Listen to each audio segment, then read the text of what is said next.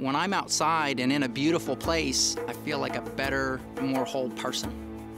I saw the National Park series from Ken Burns on PBS. The series was so passionate and so enthusiastic that it makes you want to experience it. So I decided to go from Florida to Alaska and visit national parks along the way, and I'd only do it by bike. Rocky Mountain National Park, Tetons, Yellowstone, Glacier, Denali. I wouldn't have started an adventure like this if it wasn't for PBS. Listening to the historians and the rangers talk about how the parks were formed and what they mean to America, all of those things make you want to explore them. You want to be down by the river, you want to dip your toe in it, you want to experience it. I really feel like in order to achieve something that it just takes effort, that if you keep at it, you're very likely to succeed.